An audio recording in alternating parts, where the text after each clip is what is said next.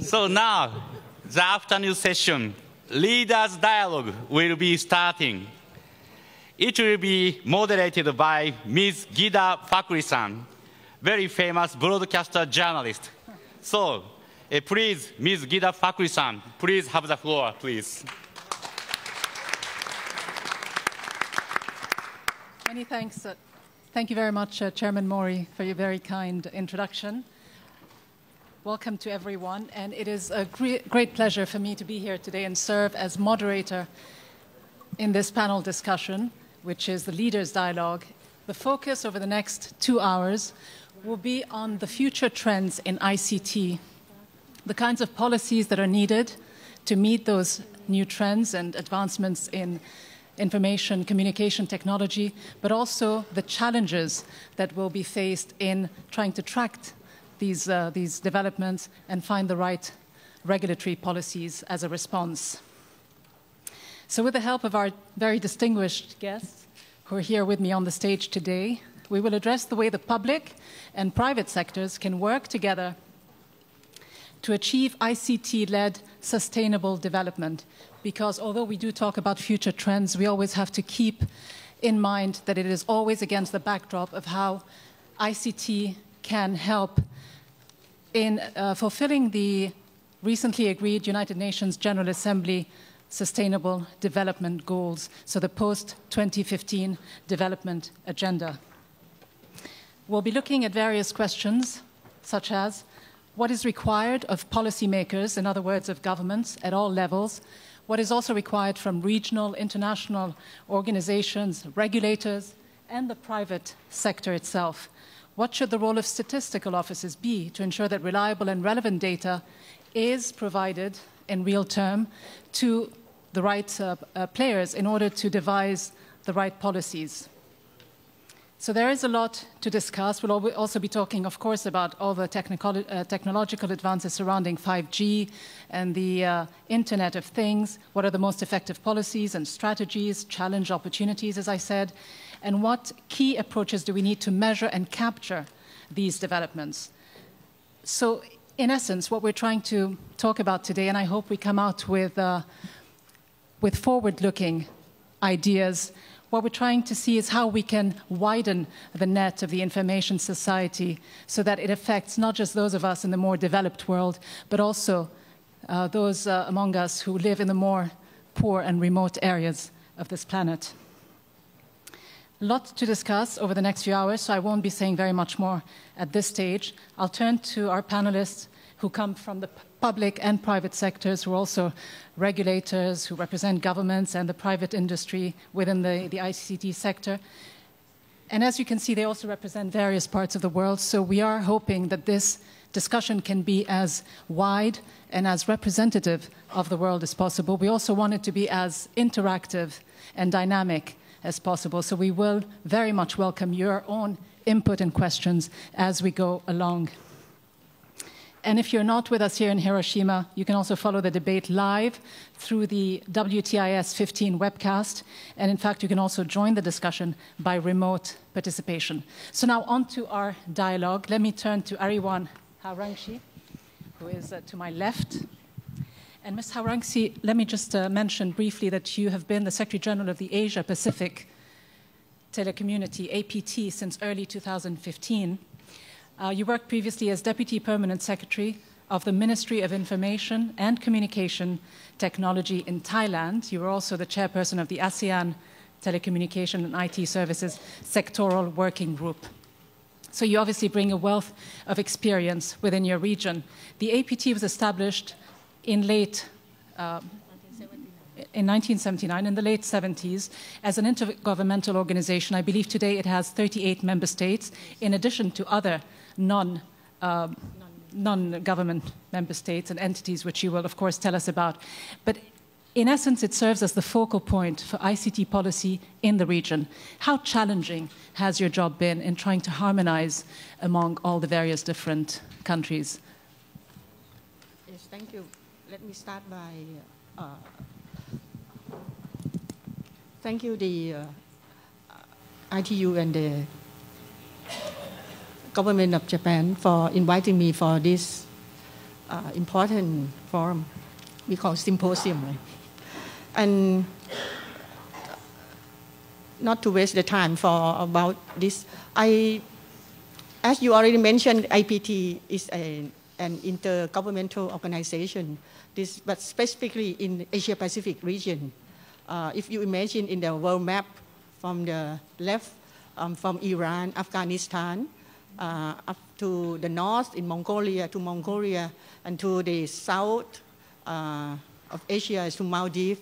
We pass India, Pakistan, and Bangladesh, Nepal, Bhutan. I'm sorry I, if I cannot mention all the name. Up to the, the east will be until Japan, Korea, China, and then ASEAN, 10 ASEAN countries and Australia, New Zealand, and the Pacific Island. Well, as you say, a very wide-ranging area. Yes. So just how difficult does it make your job to harmonize among Uh, them? yeah, if you them? travel from one country, even to, to the Pacific Island, very difficult. It take so many days. But in terms of ICT development, Yeah. this region also, the Asia Pacific region, has some of the top performers. And we think uh, of uh, Korea, Japan, Hong Kong, and some of the least developed countries and the least connected countries, as you mentioned Afghanistan, Pakistan, Bangladesh. Yes. How do rivalries hamper the efforts? Ah, that's the challenge. Uh, the APT has been uh, established in 1979, but the number of the member not 38 from the beginning. So until now, there, there are 38, but from the beginning, maybe around 15. So the, the number increased year by year. And the activity mainly, actually, we have to thank ITU for the initiative of ITU and UNESCAP for the uh, thinking about to have this kind of organization in Asia Pacific region in 1976. And after a few years, then it, it come, the constitution has been uh, uh, ratified and then come to effect in 1979. And the main reason is to help to have organization to uh, co- coordinate the uh, cooperation among these countries. But not only the country, we have the, we call, in ITU there, is, there are sector members, but in APT we use the word affiliate members. Uh, they are industry and uh, state But, enterprise. but just what would you say is the main challenge that you face Yes. in a nutshell? yes. And What, what is the main challenge? uh, the, the, function, the uh, cooperation increasing, in, including uh, to have the regional voice in, uh, for example, when you attend the World uh, Conference, if you have one country, one voice, and then you want to convince all the, uh, for ITU, you have 193 country, member state. It's very difficult for one voice. So uh, the ITU, A- APT uh, uh, will play this role to, uh, to uh, collect the regional voice. But how? Because the, sometimes it's very difficult. When you mention about the work, we have the, several years ago, uh, the APT is very proud to produce one product. I can call product like uh, 700 megahertz band plan. Later, I has been accepted worldwide. But it doesn't mean that all APT members accept this. So we have to work on this. But at least we have to try to uh, provide.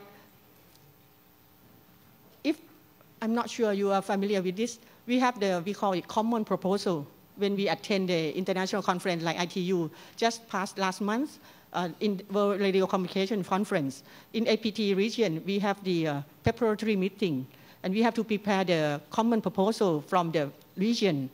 Um, we, we can uh, sub, uh, submit the common proposal, at least to be accepted by most countries, to be common proposal. And we will talk a little bit more Yes. later in our discussion, but perhaps I can turn to uh, Basuki Yusuf Iskandar now to look at uh, what is going on at the national level and how easy or not it might be for countries to come up with the policies needed in order for regional organizations to do their work more effectively.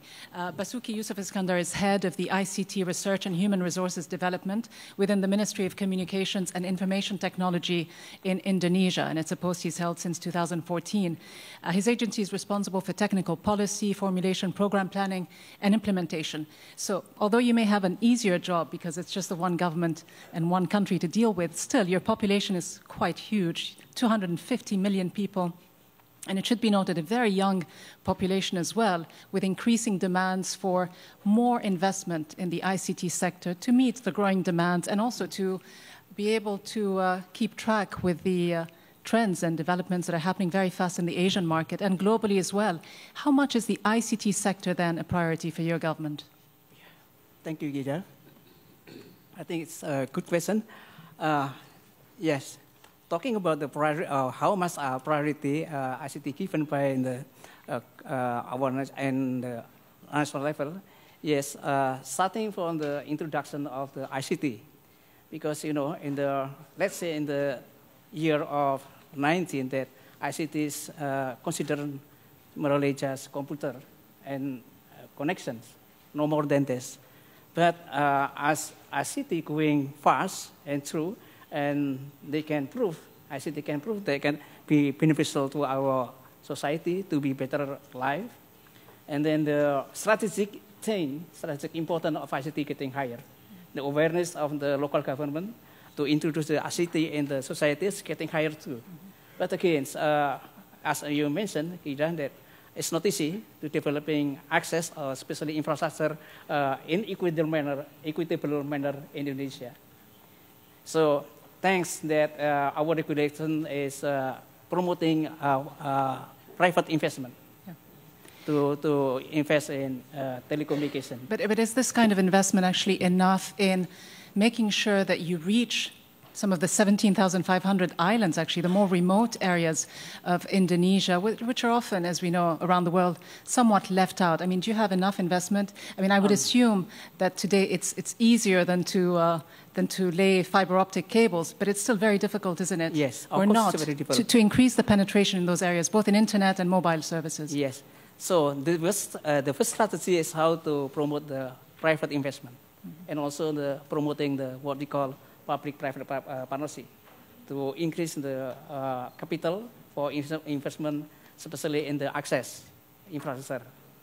So it's not easy because uh, we have so many so many islands that are really in remote areas that uh, not even uh, in ICT infrastructure, but even in public utilities is still a problem, like electricity and and and so on. So talking about the competition of budget with the other modes of infrastructure, such as uh, public works, electricity, and also uh, water, is again quite quite difficult for ICT to get uh, enough budget for it. So that's why one strategy is how to promote private investment by uh, promoting a conducive uh, environment for investment. Yeah. and one wonders if there's uh, also a lot to be learned from other countries in the region that have done extremely well over the last few years. Uh, Seung Kyun Kim is from uh, uh, Korea, Vice President of the Statistics Information Center of the Korea Association for ICT Promotion, which manages ICT policies in the Republic of Korea and produces ICT statistics as well.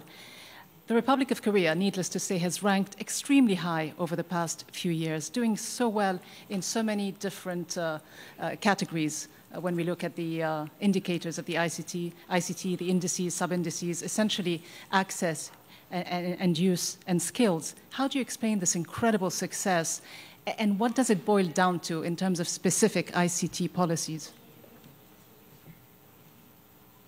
Thank you. Thank you very much.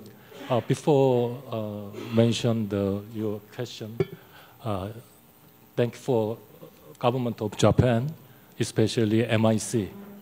Uh, this year is 70th anniversary between Japan and Korea diplomatic ties. And then it is a great pleasure to, jo uh, to join this uh, symposium in Hiroshima, Japan. I think uh, yesterday we visited uh, uh, Hiroshima atomic bomb dome. It, uh, it, was, uh, it happened in 1945, August 6. After five years later, Korean War was broken. It's 90, from 1950 to from 1953. Korea was dis, destroyed everything. Until 1970s, we, the Korea was one of the poorest country in the world. At that time, per capita GDP is below 100 US dollars. Nowadays, we are more than 300 times than 1970s. We have many reasons, but in my subject, subject opinion, I think is Korea, especially South Korea, does not have any natural resources, including oils. We just only human capitals. And then uh, our people's eager for educations for their children. And the government resolution is good for our development. We start the modernization of uh, IT uh, since 1980s. The government decide. We just call it government initi initiated policy. Government, government set, a, uh, set the goal. And then uh, pilot test by uh, institute. We established a special institute for telecommunication. We just call ETRI, Electronic and Telecommunication Research Institute. Mm -hmm. And then we do not have any uh, natural resources. ICT, fortunately, ICT doesn't need any natural resources.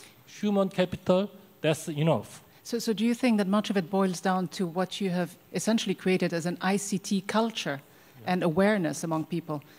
Do you feel that it's the ICT culture in the end that has really helped? It's not just what the government has done, but the fact that people realize the potential of ICT and have actually used it. Uh, because the Korean peoples are, are very, the talent of Korean people, they are very interested in new things. And then, fortunately, we are good neighbor and good uh, teacher for IT, Japan. Yesterday, it's just one, and one hour flight to Seoul to here. It's, it's, it's almost domestic. But uh, during the 1980s, I think I, I, I remember, uh, probably you, you know that during the 1980s, Sony Walkman was prevailed, yeah. whole, whole the world. But we, uh, uh, the starting, starting period, 1980s, we start imi imitate to Japanese uh, style. We just call uh, uh, fast follower, fast follower. But nowadays, we want to achieve first mover. Thank you, and we will have the opportunity to hear directly from several members of the ICT industry in Japan uh, on this panel. But first, if I could move to um, the person to my left, Mr. Dražen Lucic. Uh, from Croatia and talk a little bit about the situation there and within Europe, and also speak about something we haven't touched upon really so far regulation. And I say this because you are president of the Council of the Croatian Regulatory Authority for Network Industries, HAKOM, uh, and member of the Board of Regulators uh, of the European Regulators for Electronic Communications. In other words, you have a lot of experience in regulation. You also worked for Ericsson for about 25 years. So, how do both of these experiences within the private sector and as a, a regulator fit into the picture of what uh, the ICT situation is like in Croatia, first of all, and then in the wider uh, European region? Thank you, Ms. Moderator, and I would like to thank ITU in Japan for uh, inviting me and giving me opportunity to speak about this topic and also for excellent organization of this event. Thank you for your question because uh, when we speak about Europe, then uh, mostly we assume that we have developed countries. But uh, when we speak about digital gap, this digital gap is worldwide, it's in Europe, it's within European Union, and what is the most important, it's within each of our states, which are member states of the European Union. Technology is here. Working for private sector for one of the top vendor in the world, for top uh, operators uh, in, almost three decades. Uh, I learned a lot about uh, telecommunications, but it's not problem with technology. The problem is how to apply this technology and the goals that we have like in European Union, like Digital Agenda 2020, are political goals. And those political goals are very challenging. Uh, when we speak about high density urban, is it South Korea, is it uh, Japan or Singapore or Europe? Uh, services are there. High quality of the services is uh, available to almost every citizen of the biggest cities in the world. But what about rural areas? And particularly speaking about Croatia, we speak about digital gap between rural areas and high density urban. Croatia is a small country, 4.3 million, but uh, with four major cities and with uh, thousands of the small villages without uh, uh, neighbors for, for, for the new services, that's a challenge for us in Croatia. And by setting regulatory framework at the European Union level, and also by applying this regulatory framework in Croatia, we are just at the beginning of the problem.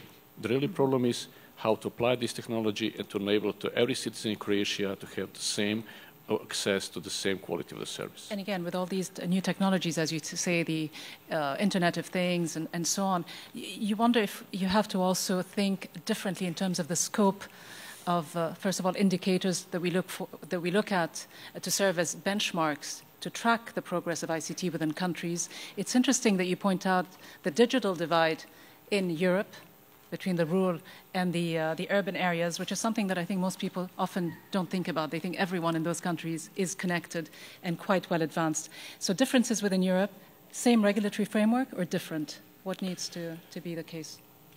I think that uh, regulatory framework should be the same, technology the same, standards should be the same, but political, polit politics, how to apply this in every country should be different and should be applied and adapted to the conditions for the, each country. And that's exactly the challenge, uh, not only for Croatia, for, but for the other uh, member states of European Union. But what would you take as the main criteria that it should be applied against? Uh, I think that uh, people satisfaction is the main criteria. We have statistics, which looks very good, but statistics is just a lot of data can be presented on this or that way. What is the most important that we have uh, really fully satisfied end users and to enable this service to everybody, if possible, within the country. Mm -hmm. Let me now uh, turn to uh, Jaume uh, Salvat, who's the founder uh, and partner of Agaros, a technology and business consultancy specialized in telecommunication and information systems in a country we don't often talk about, Andorra. Um, he has led several projects in the Middle East and North Africa region, in other parts of Europe as well, Asia, Latin America, and all of this related to the development of networks and broadband services, policy and regulation, strategic planning, development, and implementation. Uh, I want to also mention that Mr. Salvat was previously the CEO of Andorra Telecommunication and was at the same time Andorra's regulator. I mean, it just strikes me as a very odd combination. How does an insider manage to regulate the industry? What have you learned from being within the industry that you could then apply as a regulator?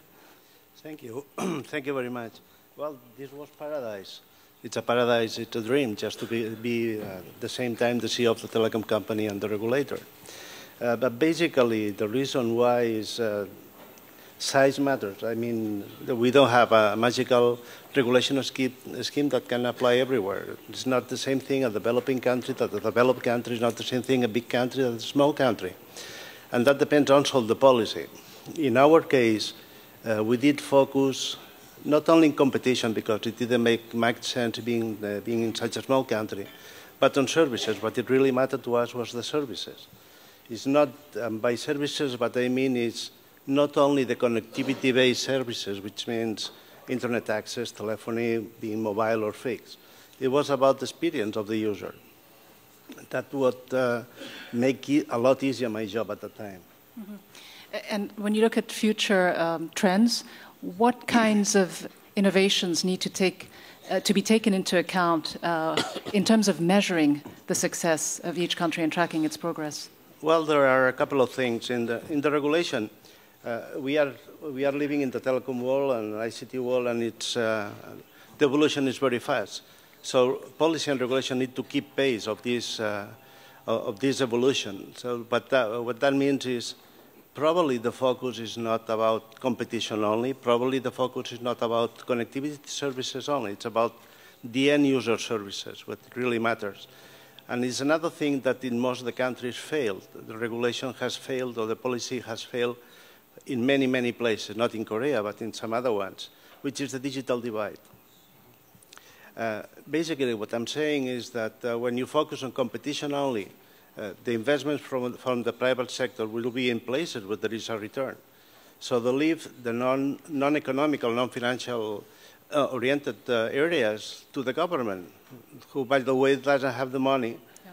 to offer to the citizens that live in these places the same, uh, the same services or the same infrastructure they need or they require for, uh, for, for having the same services in, in the big places. So, so just briefly, I mean, who fills the void when there's a situation like this, where clearly private investors don't have the incentives to invest in the rural areas, Yeah. and the government doesn't have the money? Who fills in? Probably the, the regulation need to, need to change a little bit, need to take into account, need to incorporate into the equation the services.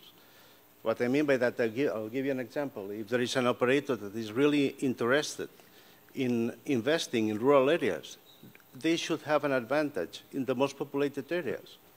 I know that the other ones will not be very happy because they will say they have a, it's not fair that they have an advantage. But uh, the country needs to define what is fair for them. You have to in make order it to appealing. do that to attract the right investments, but Right. it's possible to do it. Uh, what I mean by that is, uh, if uh, we are not happy with the result and we want to make it different, we cannot continue doing the same because we are going to have the same result. Okay, well, well let's put, put similar questions about regulation and, and, the kinds of policies in place to Philip Metzger, uh, to my right. He's the Director General of the Federal Office of Communications, Ofcom, of Switzerland, a post he's filled since early 2014. He was also previously Vice uh, Director and Head of the Telecommunications Services Division of Ofcom.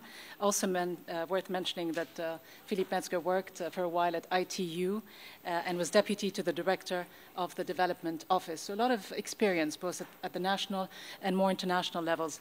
But going to Ofcom specifically and the experience in Switzerland that you were part of, um, looking at the fact that Ofcom uh, relates to issues of regulation, national um, authority to ensure nationwide and affordable services to the population, uh, the increasing liberalization of markets that we've seen over the last few years, the changing scope and nature of ICTs, how has all of that affected Ofcom's role? Can it still play the role of a neutral referee, as was often thought of? Oui, merci. C'est une très bonne question.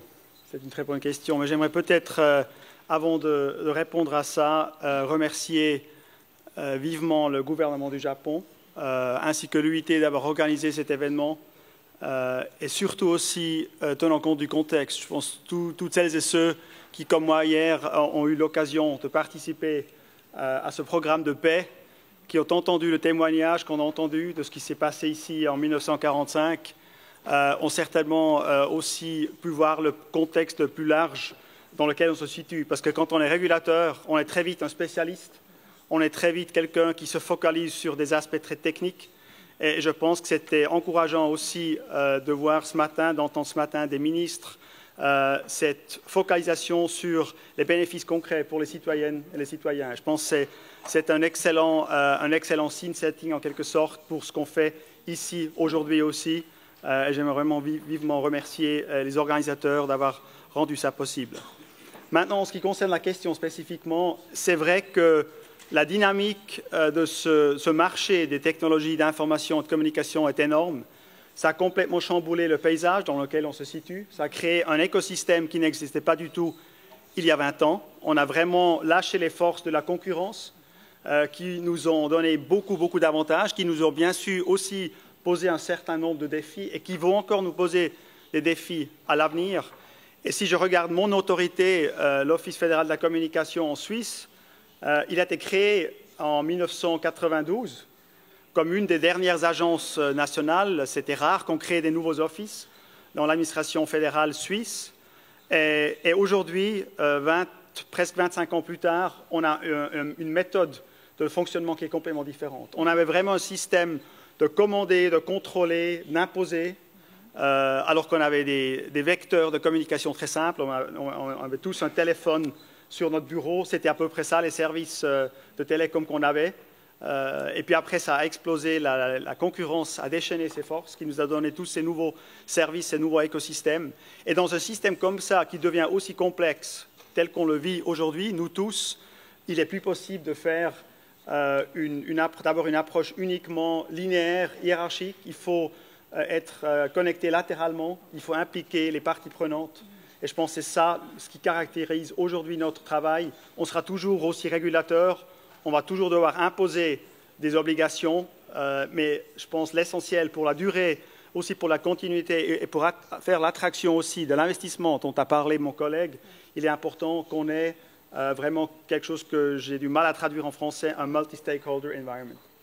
Well, that's, that's very important. And uh, as, as you talk about the Swiss experience, Switzerland being uh, the, the focus of envy of much of the rest of the world in, in so many aspects, and, and people have this impression, probably uh, in large part correct, that it's a you know, homogeneous society that for the most part has done very well, that you don't have so many communities that have been left behind. But putting on your more international hat from previous years as director of the, um, deputy director of the development office at ITU, what might be some of the things you learned and some of the lessons you might be able to impart to the more developing countries in terms of the challenges uh, when it comes to regulatory frameworks? Mm. I mean, how important is it for them to have robust uh, frameworks? And I don't mean that you should be lecturing anyone, but just in a, in a positive uh, way that, that can help us all understand what it requires. How important is it to provide a measure of independence, transparency, and accountability, essentially, to regulators?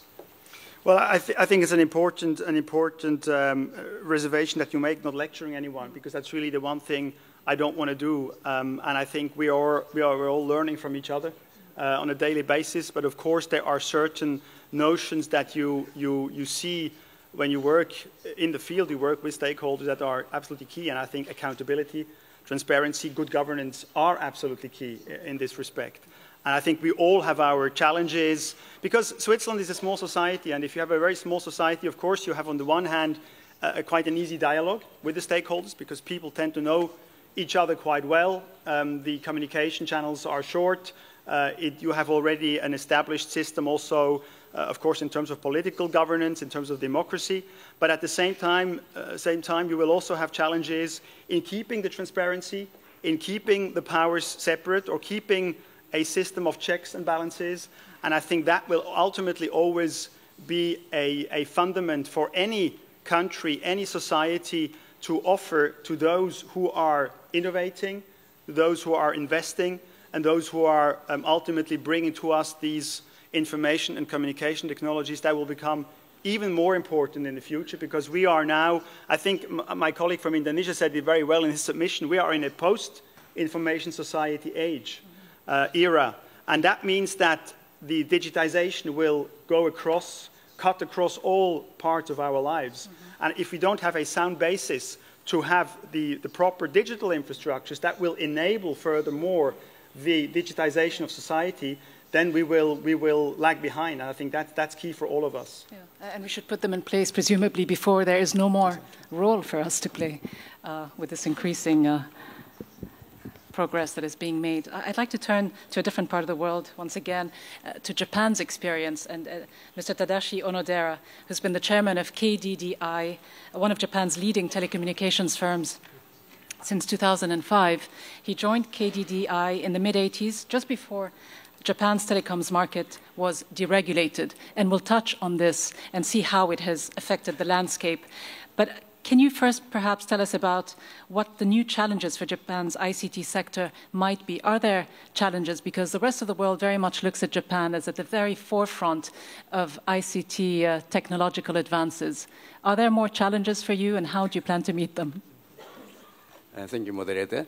Um, I in charge of uh, mobile business uh, from 1988, uh, maybe.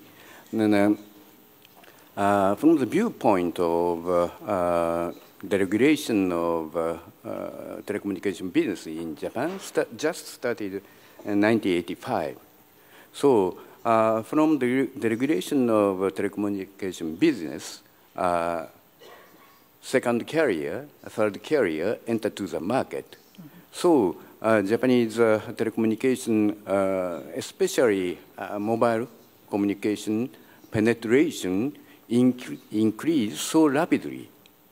So uh, the regulation is one of the key point for telecommunication services. By the way, uh, you said, uh, what's the next? It's a very big, big problem for us. And uh, one of the key issues, uh, many people said, digital, digitalization is a very, very important issue, not only for telecommunication businesses, but also for all businesses, I think. Mm -hmm.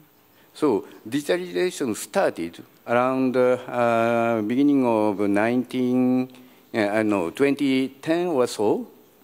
But uh, in telecommunication world, digitalization started more than uh, 15 years ago, around the year 2000. So telecommunication is a digitalization leader of the world. So what's a digitalization? I think uh, biggest issue is digitalization is um, um, anybody can transmit, can uh, open up his opinion to the world, mm -hmm. not in nation, to the world. Yeah. And also, for example, small business guys can sell their product or their services also for global basis. Yeah. That's the big, biggest difference from yeah. the viewpoint of consumer, mm -hmm. customer. But from the business viewpoint, the other issue is uh, digitalization. Uh, anybody said IoT or another phenomena will occur. Well, let me ask you about the other phenomena because, as you say, I mean, part of opening up to mm. the world and increasing our interconnectedness obviously has uh, amazing um, opportunities and benefits for entire societies, yes. but it also brings with it some pitfalls, doesn't mm. it? And I'm thinking more specifically about what you think our concern should be, because I know you also have some experience as a member of cybersecurity committee with the mm -hmm. Japanese Business Federation. Mm -hmm. To what extent should we be concerned in terms of future trends mm. about uh, cybersecurity relating to national security, mm-hmm. because more and more today across the world, the major powers you see are investing much more heavily in, uh, in military intelligence and so on, directed at cyber warfare and defense. How concerned should we be about yeah. this trend? Uh, cybersecurity is a very, very uh, big issue, uh, not only in Japan, uh, globally. Mm-hmm. The we uh, think uh, how about cybersecurity? My understanding and the Japanese Council's understanding is we cannot protect totally from the cybersecurity. It means attacker or offense people has uh, more than protect people's knowledge. So they create new method for attack or new scheme for attack. So how to, uh, in, no, how to uh, find out such a new attack scheme? How do we protect possible. ourselves? So impossible. Yes. So uh, not only in Japan, I think uh, global such a uh, no no uh, detection system should be need and co-work each other. In Japan, uh, for example, Telecom ISAC already started, and uh, telecommunication companies joined to this uh, organization. And uh, if uh, one carrier uh, find out some problem, in such a case, such information distributed to other carriers automatically such a system should be need not only telecom carriers, but also nationwide or global basis. Yeah. It's my understanding. Okay, but, but for now, going back to the more positive aspects of ICT development and from one of the most developed ICT nations to one of the least, uh, I turn to my right, and Antonio Correa, who is uh, chairman of the National Communications Authority at the Ministry of Public Works, Transport and Communications in Timor Leste. Uh, Timor Leste being one of the 48 least developed countries uh, in the world, and uh, which we all know also has gone through its fair share of uh, traumatic uh, history uh, in the last few years. How have ICTs specifically helped Timor Leste and its society in getting out of, of that kind of uh, post-conflict um, situation? In other words, in the post-conflict recovery. Uh, thank you, moderator. Uh, I would like to express my gratitude to the government of Japan and ITU. To answer this question, uh, I will introduce uh, first my my, my intervention. Uh, but if I, if I can ask you, sir, to, to just perhaps uh, address the question and we can okay, yeah. keep the discussion okay. Okay. perhaps a bit more dynamic. Uh, as you know, Timor-Leste is a small country with a population of just around 1.2 million.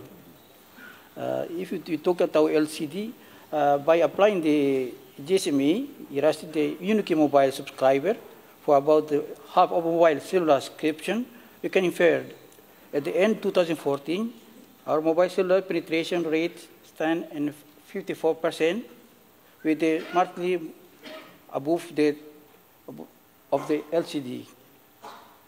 Uh, in this context, uh, the development of uh, human skill is very is the key. So one of, of the, our regulator response is to refocus our new universal service, access fund for extending phone uh, service to broadband access, special linking together with, with our university. On, on, a more practical level, though, can, can, you, can you perhaps tell me and tell us a little bit more about what the government has been able to do? Because coming out of conflict, one of the key um, statements that were made is that you want the, the country, most of the country, yes. to be connected to have good communication, but that hasn't really been achieved in that you have only half the Timorese population of 1 million with yeah. access to mobile phones. Yeah. Why hasn't there, there, been more of a breakthrough? Has there been a lack of investment? What has been the main problem? Uh, we have uh, our uh, strategy to develop plan for 2030. Uh, our st first strategy is to liberalize the telecommunication sector. Now we have three operators in Timor-Leste, uh, Timor Telecom, uh, Telemor from Vietnam, and Telkom from uh, Telkomsel from, uh, from Indonesia. So uh, the next uh, step, our government has a commitment to uh, to develop our uh, submarine cable. This is the, the, next step after we liberate the, liber the liberation of the communication sector. We'll get back to more specifics, but I will just quickly move now to another example from Japan mm -hmm. before we get back to this. And I'm looking for Mr. Onoe. And uh, here again, if I may just uh, say briefly that uh, Mr. Onoe is Chief Technology Officer, Executive Vice President, and member of the Board of Directors at NTT Docomo, Japan, holding that post since 2012. Uh, prior to this, Mr. Onoe was Senior Vice President and Managing Director of the Research and Development Strategy Department. NTT Docomo, the company you currently serve, has a, an incredible reach in that it reaches some 60 million customers. It is Japan's largest mobile service provider, operating high quality 3G networks and also ultra high speed LTE network, which is supposed to reach some 98% of Japan's population, perhaps even 99%. How do you manage that? Just 1% of the population being left out. Yeah, uh, thank you for your kind introduction of myself and my company, Docomo.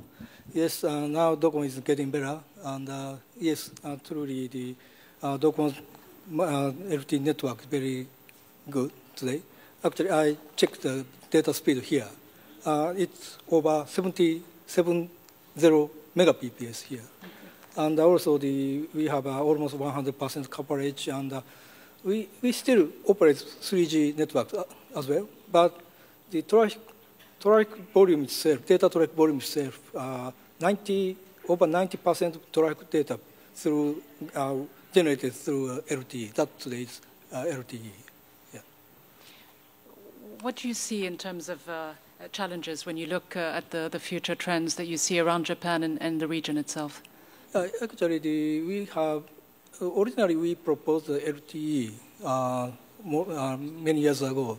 Uh, we always start the next generation uh, technology development just after the launch of the previous generations. Mm-hmm. So uh, we have a concrete plan for the network evolution for the LTE to LTE advanced. Uh, now time to time for the 5G today. And in terms of deregulation, because it's worth noting that the market in Japan, the ICT market, has been deregulated for many years now. And quite often, what happens when deregulation takes place is you break up monopoly practices, and so you break up the big players, but then uh, you've got um, you've got a few new uh, players that come on the scene that eventually get bought up by some of the bigger names on the market. But how does it still affect the competition and the efficiency of the, the telecommunications industry? Yeah, yeah, actually, already Onodera-san talked about some the, the, the regulation, the very early stage. From your experience, how do you yeah, see it? Yeah, that that was uh, from uh, NTT Docomo side, uh, uh, new entrants coming, then competition. Um, that, that, was good for the whole industry, I yeah. believe. Yeah, because the, uh, today's LTE networks uh, success point, I like to point out two things. One is that we have a we have a R&D that we propose the technology and lead the standardization and deployment. Second point, competition. Uh, competition for deploy, deployment for the networks. Very hard, severe uh, competition. As a result, we deployed a lot of almost 100%. This is a very similar situation as I think Korea. Korea also the uh, competition very heated. Mm -hmm. So uh, competition uh, create a new uh, motivation to deploy the yeah. to investment. But, but, competition, I think, often also has an underlying uh, main element, which is financial incentive for these types of companies. I, I, want to get back to the point that Philipp Metzger was making earlier, and to people, not just to bottom lines and numbers. How important and how important is it to measure the social contributions that your successes can engender? Yeah, of course, uh, is also, uh, it's a very important uh, challenges to provide uh, social, uh, so, to contribute to the social society. We have a lot of activities for the uh, social activities. Uh, for example, the uh, already some discussion about the disasters. We in Japan some disasters, a lot of disasters. We that to pre uh, pretend the disasters and pre uh, recovering the, uh, from the, the disasters. that is a role of the operators, yeah. mobile carriers. We um, gave a lot of effort for the for that areas. Yeah. And also some uh, in in the morning session, some uh, Zimbabwe Zimbabwe that some uh, no brown people really said some inconvenient devices, smartphone. Mm -hmm. But uh, to cope with that, we yeah. provide some uh, user interface for these such people. Uh, for, uh, that, that's yeah. an example. I mean, clearly, it is making yeah. a lot of contributions to people's lives and empowering them in many uh, aspects, including economically. Uh, looking at the situation again once more from a more global perspective, uh, Stefan uh, Schweinfest, uh, Director of the UN Statistics Division.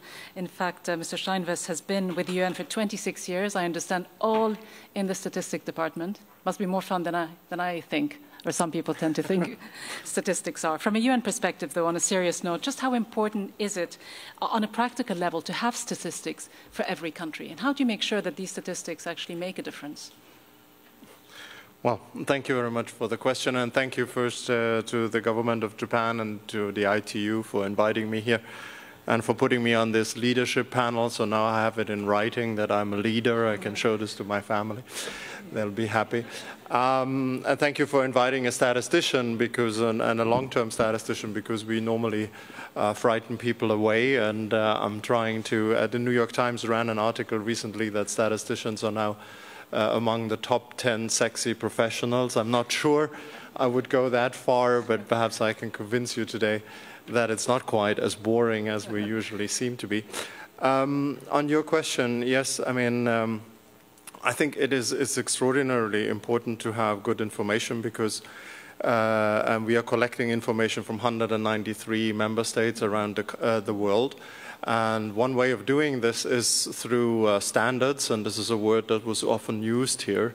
And uh, standards, I always, I mean, are really the bread and butter and quality control of my job. And it's not a straitjacket, it enables people actually to, I always say standards are a common language. Uh, statistics is a language that allows us to uh, relate experiences from one country to another. And uh, it is very important, in particular in the current context where we have an uh, ambitious development agenda. Uh, it is very important that we know where we are at the beginning, where we are going in the middle of it, in case we need to fine tune or, our policy interventions. And it's also an important tool uh, to inform people and the, the, citizens of a country. Uh, because this is uh, one way of holding everybody accountable, including us. I mean, uh, the international organizations. Are we putting our efforts in the right in the right uh, areas? Are we helping countries uh, sufficiently to do what they want to do, what they need to do? I mean, it must be incredibly useful for countries to know how they're doing in order to progress. But there must be also a significant cost involved in countries undertaking the types of ICT studies and data gathering that are needed uh, to put in your statistics files and so on.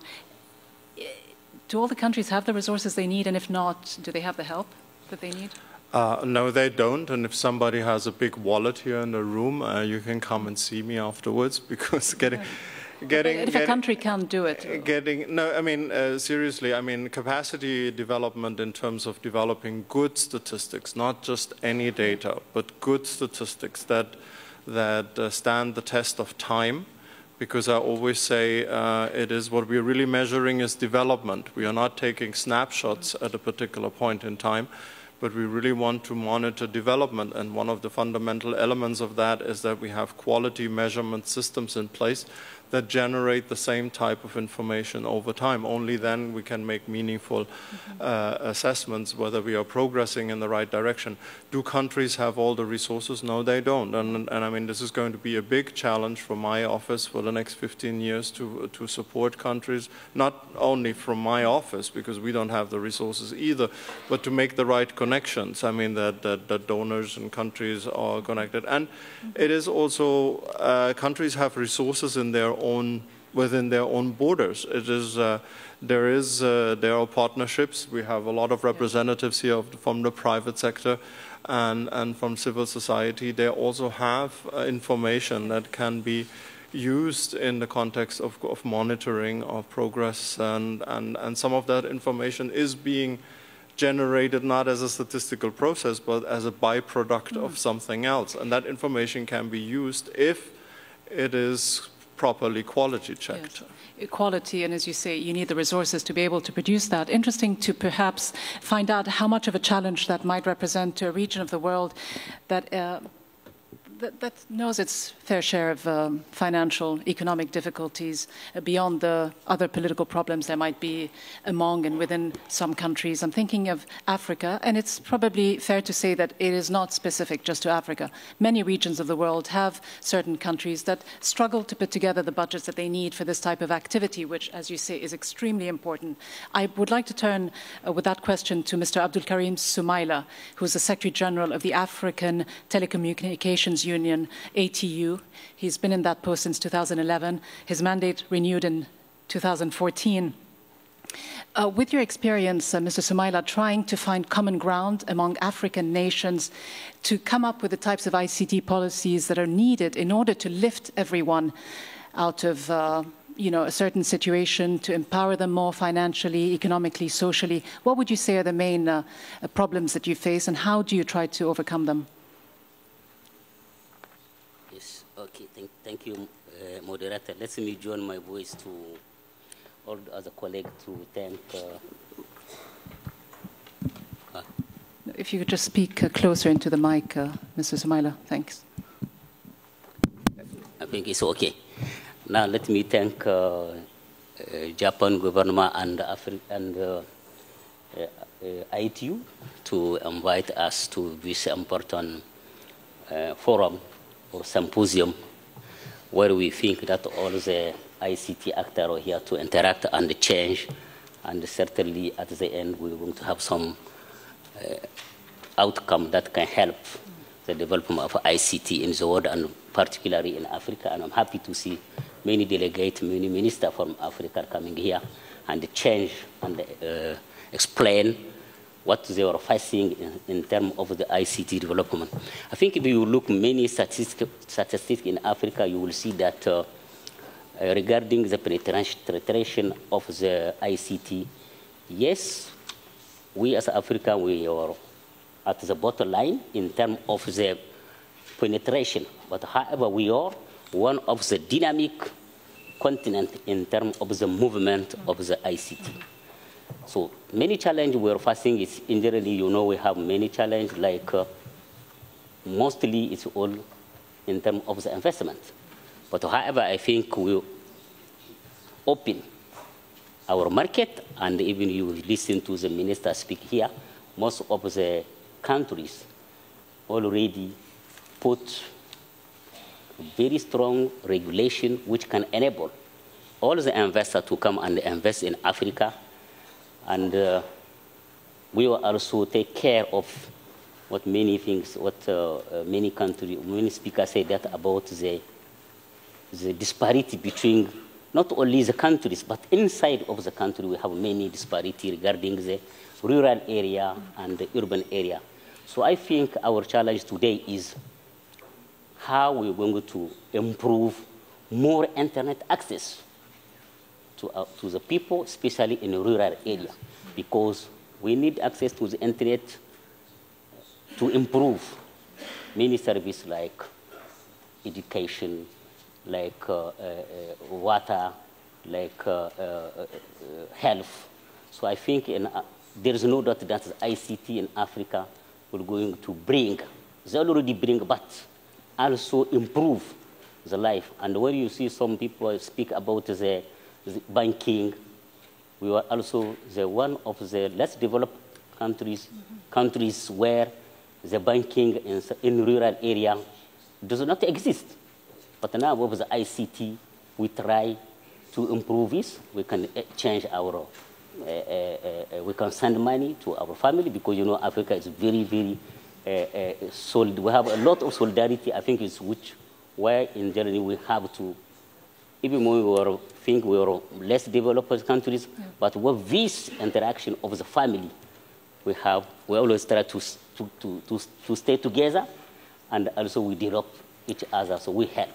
And as you say, there has been uh, uh, significant improvements that have been recorded in the African region, but still the ITU in its report says that uh, more action is needed to ensure that the least developed countries, especially in Africa, are fully integrated and included in the information society. In order to achieve that, if not next year, within the next five years, and we know that there's a very ambitious, ambitious ITU Connect uh, 2020 agenda, in order to achieve that, and in order to fulfill that vision of 90% of the world's rural countries connected, what needs to happen? How much of it needs to happen from within, from African countries themselves, or from outside? How much do you rely on outside help? Yeah, I think in order to achieve, it, uh, to achieve all this, we think what we, we, we recommend of most of African countries is just to be sure that they set up a broadband strategy development. So I think when I say that, because using this application of new technology like 3G, like 4G, or like 5G, I think this can help most of African countries to use this application facilitated by those technology because we know that 5G or 3G or 4G are going to support yeah. many applications and many services. This certainly is going to help many, many rural areas. And it certainly helps to have a clear strategy, yes. a clear vision for the region as a whole. Our final panelist, before we open the floor to, uh, to your questions and, and input, uh, is uh, from Japan, uh, Kazunari Furugen, Senior Vice President, Member of the Board, and Senior Executive Manager of corporate business headquarters of NTT West, Japan. He has focused on the development of Japan's telecommunications uh, industry over the last 15 years. You've also launched uh, projects uh, such as Japan's smart community and smart city to revitalize the more local areas within Japan, such as Okinawa. Could you tell us a little bit about your uh, personal, practical experience revitalizing those areas? Uh, thank you for inviting this meeting. Uh, and I can only speak English a little. I'd like to use the interpretation this time, okay? えー、ご紹介ありがとうございます、えー、今ですねご紹介ありましたように私は日本の、えー、各地域のちち小さなコミュニティのインターネット環境について今、えー、取り組んでおります、えー、今ご紹介あったように、えー、ものすごく小さな都市でもスマートコミュニティを今展開をしております。具体的にどういうサービスをしているかというのを申し上げたいというふうに思います。今の若い世代の方々はえタブレットスマートフォンを持ってえインターネットをアクセスをする、まあ、そういうことだと思いますがえ特に高齢化の日本の社会では多くのえー、高齢化された方々がテレビを使ってインターネットを使っております、えー、具体的に言いますと当然インターネットのサービスを受けるだけではなくて、えー、それぞれのタウンだとかコミュニティの情報を、えー、それを介して共有すると。これ大変重要なテーマだというふうに思います以上です You, mentioned some of the older community, uh, and usually they tend to be a little more averse to technological advances and tapping into them. Uh, one word we didn't really mention very much today is e-commerce, and I think the, the, the, extent to which we all rely on it. In, in your projects, how much of uh, what you do is based on this notion, even in the rural areas? Are people getting more and more aware of what they can do with e-commerce and actually using it? はいあの実は今お話あったように、えー、日本でも Google、Amazon のサービスを、えー、若い世代は使っております、えー、ただし、えー、高齢化の方々というのはなかなかそこまで、えー、インターネットをお使いっていうのはちょっと難しいんですね、まあ、そういう意味でそれをサポートするようなコミュニティがありまして、えー、お年寄りのニーズに応えるようなサービスを実は今えー、展開をしています。具体的に言いますと、えー、お年寄りが、えー、車を手配をするとオンデマンドで車が来ていろんなところに連れてって行ってくれたりもしくは、医療機関に通いたい時に具体的にその医療の病院まで連れてっていただくと、まあ、そんなことが実はお年寄りに向けてはベストなサービスです。thank you very much. And on this note, let me perhaps turn uh, the questions and the floor to uh, input from the audience. Please do um, ask whatever question you may have to our panelists. Uh, I would uh, appreciate if you could be somewhat brief in your question and also direct it to a specific member of our audience, of our panel. And I believe we do have microphones, and I do see a hand that is raised in back. Please go ahead. Okay, thank you very much. Uh, I'm uh, Toshio Obi, professor of Waseda University, Japan, as the ITU Academy member. And uh, I thank you for very uh, fruitful discussions. And uh, I'd like to ask the issue on the social media. Uh, because social media is a, a personal communication but uh, it's quite uh, important in disaster as well as political revolutions. And towards the 2020, how do you anticipate the future trend of social media like uh, Twitters or Facebook or Lines and any other means to become more influential in the societies? how the uh, expert will think about the uh, difference between developed and developing countries in, in the course. Thank you very much for the question. Uh, to any of our panelists, I believe the, the issue of social media and how it can be used beneficially, uh, social platforms, that is Twitter, Facebook, and the likes, in order to better communicate and in order to not just uh, connect the world uh, simply uh, on a geographical level, but also to bring it closer in so many other respects. Uh, any takers on this question? Philipp Metzger, perhaps. Well, I, th I, think in a sense the jury is still out, uh, and I'm not sure there will ever be a, a, clear conclusion. I think what we're seeing is new services, um, new types of services. Some stay with us, others go away again. Some become fashionable, uh, others uh, at some stage are more being questioned. Of course, there are also questions of, of, of, uh, of data privacy, of transportability of your own data that's on the social platforms. Uh, clearly, um, as a government, uh, and speaking about how you interact with the citizens, of course you have to ask yourself the question how you can reach uh, the, the entire uh, population, not just youngsters or senior citizens. And so in that sense, I think demands are very high on us. I can speak from, from experience from Ofcom. We have introduced uh, the use of Twitter uh, quite recently, actually only about a year ago. We didn't have it before um, because you have to make sure you have the resources in place to then also manage it, to maintain the communication uh, expectations that you raise. Um, we have, for instance, concluded that for us as, a, as an authority, Facebook would not be the right channel. Um, and quite clearly, there's of course an aspect when it comes to disaster relief, um, how we would embed uh, also that technology uh, to uh, alert the population in case of a, of a disaster. And what we observe, uh, and I think that can also depend from one culture, from one country to the other, but it's also culture, a cultural aspect, you often may have to have a mix of, of let's say, more um, legacy technologies, combining it with more modern technologies, because you will not be able to reach everybody with the same channel at the same time. What is the picture like, for example, in Indonesia, and then we'll get to uh, Korea, uh, on this uh, issue? You've got a, a, very young population, as we said. They must tap hugely into this idea of social platforms. How does it innovate? How does it lead to more creative policies put in place? And how do you use this massive information and data to, again, help sustainable de development?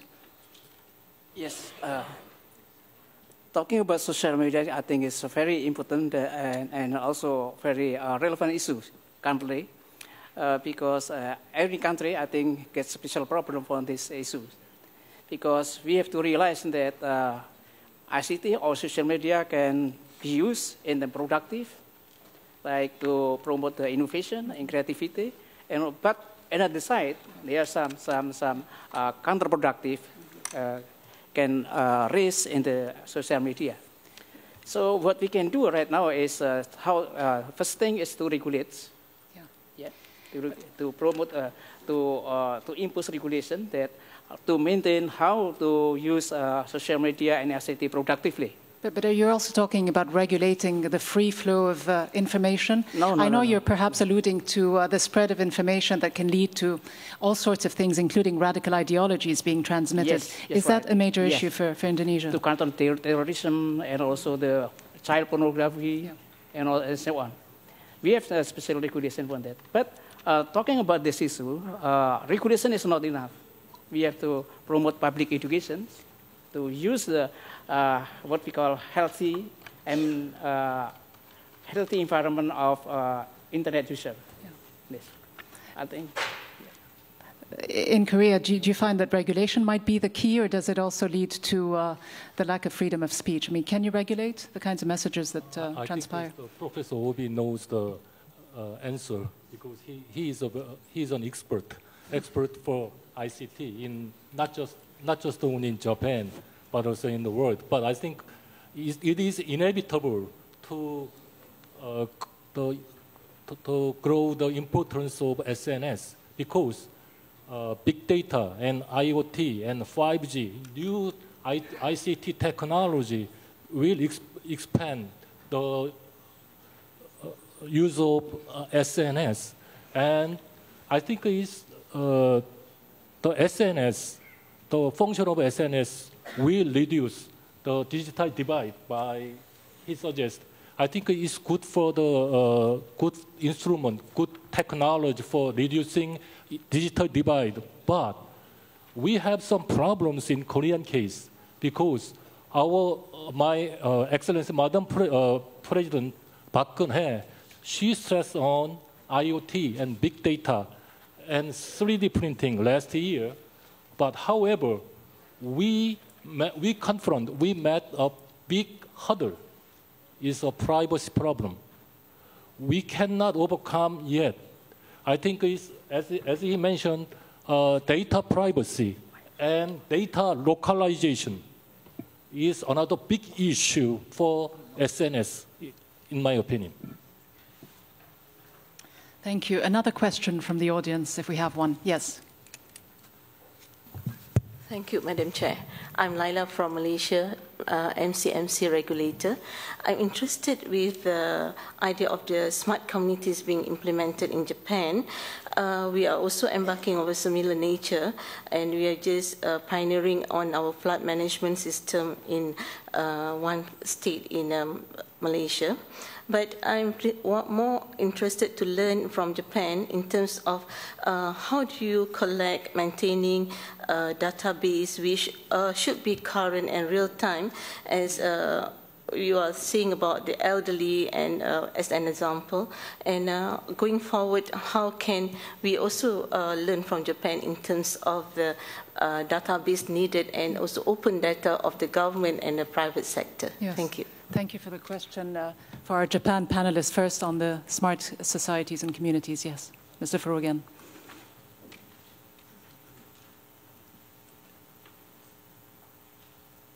えー、ご質問ありがとうございます、え、大変重要なご質問だというふうに思います、えー、日本のですね、えー、先ほど申しましたスマートコミュニティは、えー、村とか町の単位で実は展開をしております、そうしますと、えー、住民の方のデータもしくは、えー、その、えーえーなんでしょうあの市とか町のサービスそのものは、えー、全部ワンストップでクラウド上で提供いたします、えー、ですから例えば、えー、今のところあのセキュアなシステムを考えているんですけども、えー、これから実はそのセキュリティの確保というのは一つ大きな課題だというふうに思います。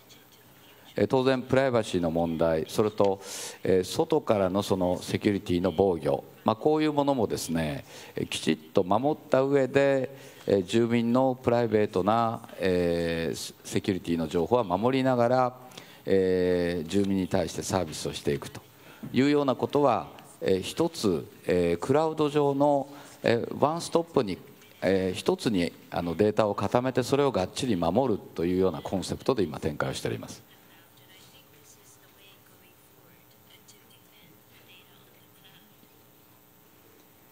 お答えになってますでしょうか。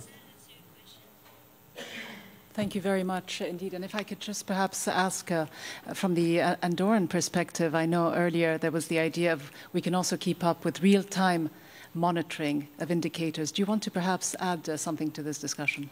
Yeah, thank you. Uh, what uh, my colleague mentioned, this is true. this is happening in the, in the smart services world.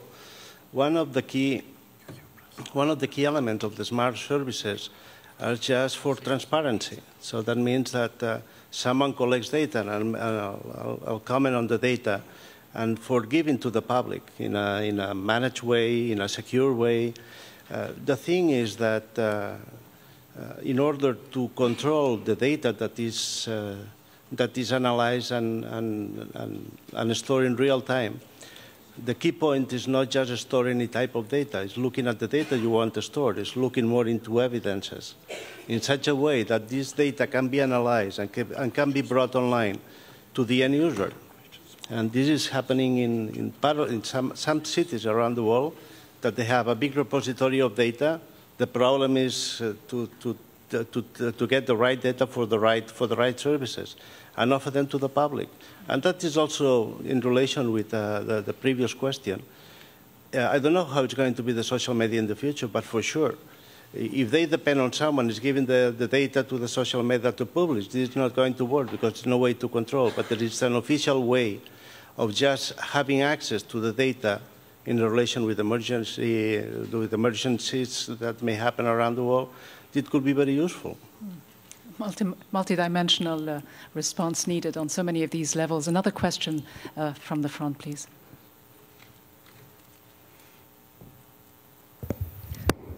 Well, first I would like to thank uh, all the panelists and uh, your moderator for this interesting uh, engagement.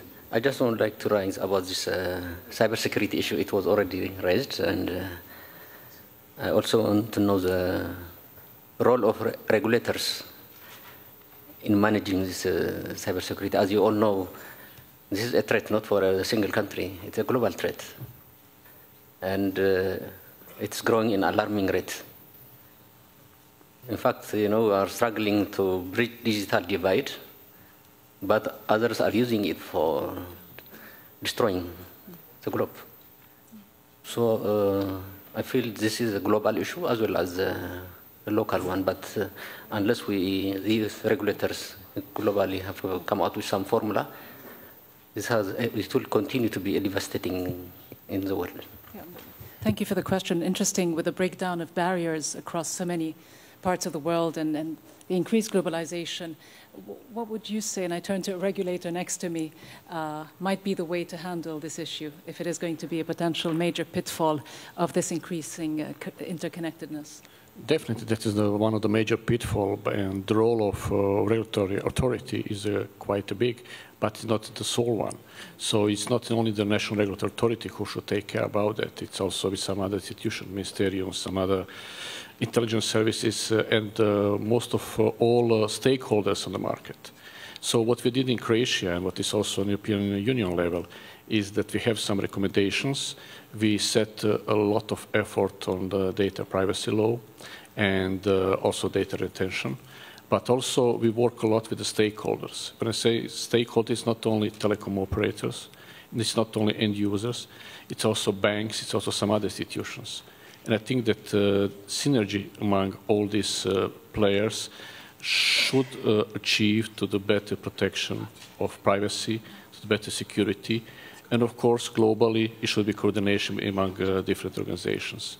But definitely, for this pitfall, the role of national regulatory authority is uh, very big. And as you say, it's an issue that doesn't stop at any one border that really transcends every region.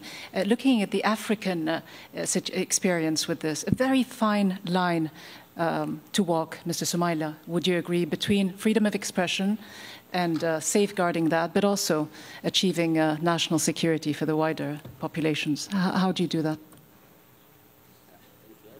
What you said is correct, but what I want to add is uh, regarding the Africa globally.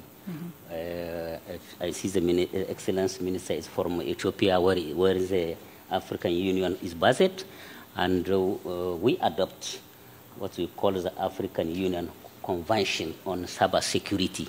I think this role is just to say that all the African countries are involved together to fight about, about cyber security, but also involve other world countries like uh, European or uh, US or all the other countries. I think it's not only the regulation issue, but it's a global issue. Thank you. And uh, in another part of the world, I mean, uh, the example of Timor-Leste, which is this very small country, but again, uh, you know, that is just next door to two major uh, countries in terms of landmass, Australia and Indonesia. To what extent is this issue um, a priority for you, a concern? How do you handle it? to handle the security issue. Uh, the key is, uh, is the multi-stakeholder to solve this problem because this is very important for the new country. The key issue is the multi-sector holder. So this is my intervention, yeah.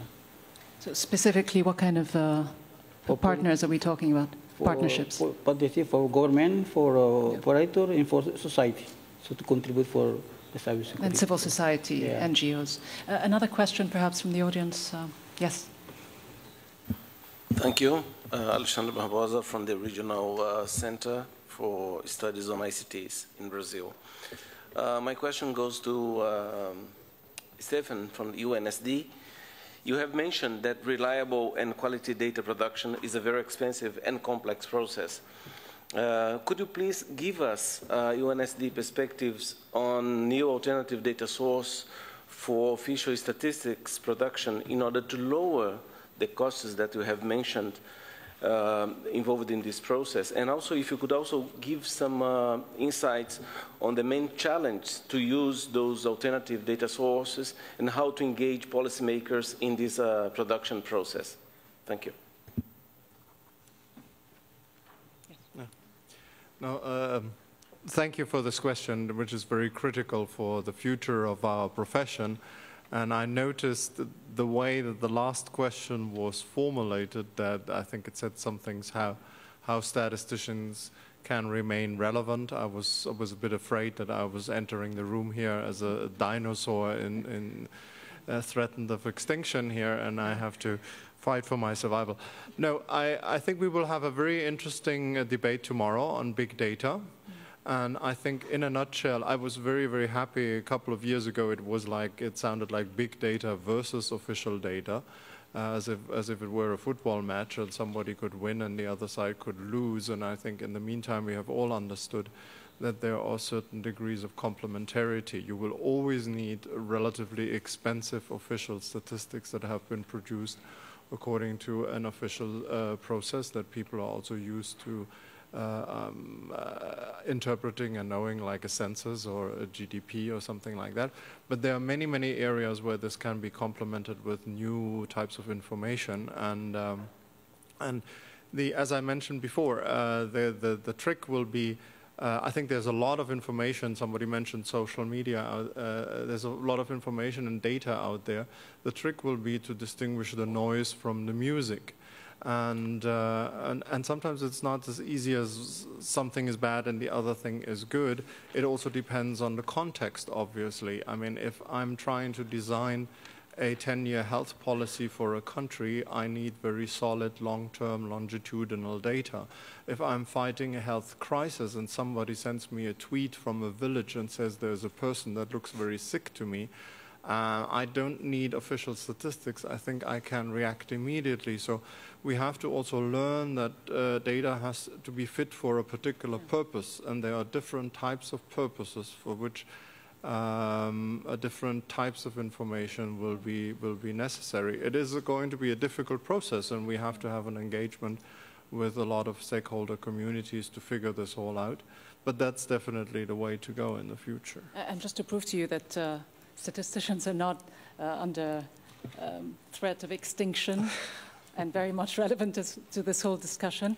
Let me uh, turn to Areewan Haorangsi and ask uh, what you get from statisticians' offices in terms of information and data.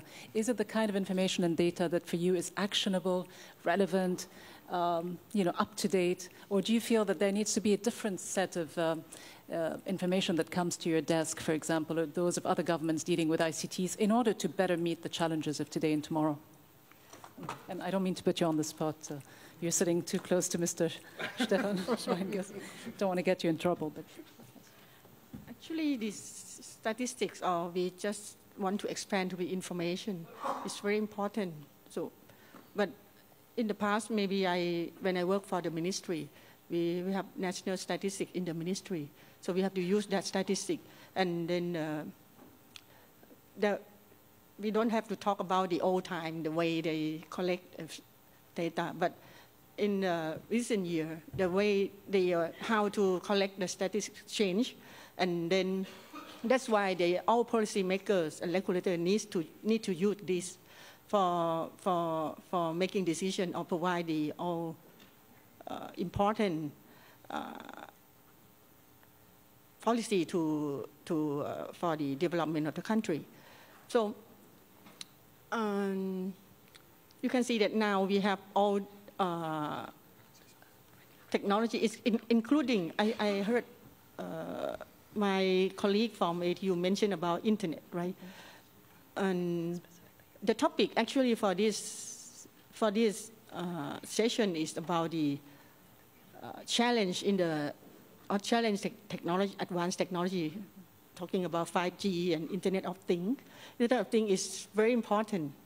And we cannot avoid uh, many speakers talking about the word some keyword related to Internet of Things, talking about the issue of uh, connected, connected now, any objects, right? Any object can be connected and share information through, you mentioned sensor, right? And then uh, this share information need to be uh, real time. If not real time, you cannot use. And also, uh, this information need to be uh, tra transformed, and this is used to be, it will be used, useful for all, not only government office, uh, regulator, also industry as well, mm -hmm. need to be used. So this kind of thing, actually for APT as an international organization, we, we are not the, we don't collect information and not not the organization to produce this statistic, but we used to discuss. We used in many areas. apart from we collect, I mean, uh, coordinate for regional voice, we also provide the uh, forum to discuss in the policy and regulatory issue and for the ICT development and also other issues like even disaster management, cybersecurity, standardization, radio communication, all of these issues and capacity building. That's why in every forum or pro program, we also talk about how to, how to, how to use this, make use of this. And uh, many speaker or expert during that session also mentioned about this especially this uh, Internet of Things, but how can we, we uh, develop on this? And then the issue has been mentioned about how to, how to, how to have that data on the, especially the, the, the sensor for the mm -hmm. IoT or Internet of Things. Yes. I'm not sure whether we have that, that kind. We have, we have collect this kind of information on, on the sensor. Well, clearly sure. massive information being uh, collected. Uh, anything to add before we give the floor to another question? You know, I mean, in that, in that sense, I mean, the, the ICT is, of course, a very big friend of statistics. We collect data, we process data, we disseminate data, and in all of these sub-processes, uh, information technology is critically important. There have been experiments even with censuses, Sensai, to be conducted over the internet. I mean, in, in, in Singapore. Mm -hmm. So, so I mean, things will revolutionize, but I mean, th there are some fundamental principles. And for instance, privacy protection of the individual is one that is extraordinarily important and that is very ingrained in all statistical mm -hmm. work. Uh, that we will have to, to safeguard uh, yes. for, forever. A, bit of a paradoxical situation that, that adds to the challenges. Uh, perhaps another question? Yes, please. Uh, I'm from Bangladesh uh, Bureau of Statistics, and uh, my question actually is to Director UNSD. And regarding the uh, measurement challenge, uh, many surveys are conducted uh, paper-based, many are computer-based by the electronic devices like tab. So in many cases, it is seen that in the same area, same time, two agencies are conducting the same survey, but they are coming up with different results. Results are inconsistent. And so on part of UNSD, is there um, any such plan or is it possible to uh, formulate a common standardization for the data collection during surveys so that the, we can minimize the inconsistency actually. Any common standard for data collection method? Thank you. So how do you render the process more efficient? Yeah, no, absolutely critical question. And I mean, we had a national survey capability program a couple of years ago. We are reviving it because, I mean, surveys will become, will be critically important still for the next 15 years to monitor the impact, I mean, of policies towards the uh, 2030 development agenda. So yes, I mean, there are international guidelines on, on surveys, but I think I think one of the underlying question that is also, it's not only, a there, is, there are two issues here. One is the one of methodology, and I think that can be easily standardized, and we are working on that.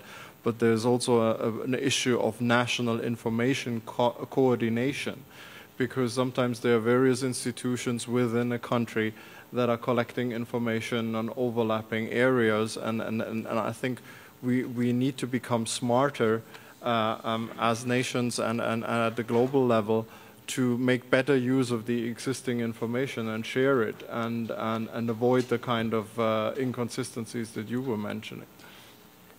And just to touch on another issue before we go back to the floor, the issue of uh, regulatory uh, frameworks that are currently in place to meet these um, ongoing trends in ICT, in ICT, how much do we have to change the current uh, way things are done in the sense, uh, are there enough um, legal mandates, uh, political frameworks that are, that are, in place that safeguard the level of uh, independence and transparency that is needed? In other words, how much distance as a regulator do you have to put between yourself and not just the government, which quite often you rely on for uh, as a source of funding, but also with uh, the private sector and the industry itself. I mean, how much of a catch-22 situation is it, and how do you better um, strategize in order to achieve uh, the, the best kind of regulation for people?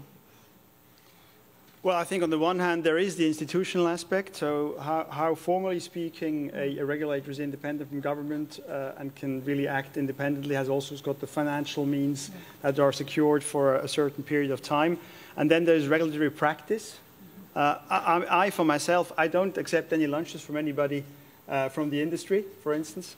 Uh, and so I think, of course, there is, there has to be also a, a culture um, of, of objectivity uh, of neutrality, of, in a sense, of, of, also judicial independence, because many of these uh, regulatory authorities take decisions that are subject to legal review, uh, and of course the, the, the normal um, administrative legal proceedings will then apply.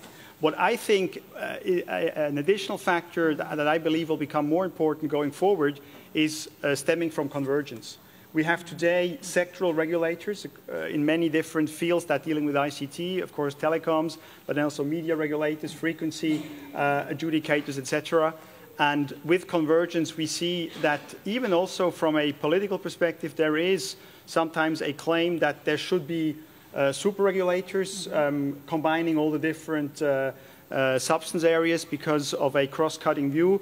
Uh, and it's true, you can, you can be split up if you have a two-segmented approach. Uh, you may not see the context and you may not see um, uh, challenges that are interlinked. And so I think we will, we will get to a point where, where that has to be seriously addressed. I know countries today that already have fully converged regulators. Mm-hmm. Um, and completely, in that sense, reflect also what's going on in the electronic uh, communications world. They have um, single legal acts dealing with everything across the board. Um, it also depends on the legal culture and on the political culture. I think ultimately we're always in a process. Uh, I, I, believe that information society or post-information society um, is ultimately always an evolution. Of course, you call it the digital revolution, but ultimately you can't do it without the people, uh, which we've said today. And so I think there is always a process and an aspect of evolution in this. And for some, uh, it's faster, and for others, it takes more time. And is there a one size fits all when it comes to this? Or do we have to take into account also the, the local environment, the cultural uh, dimensions?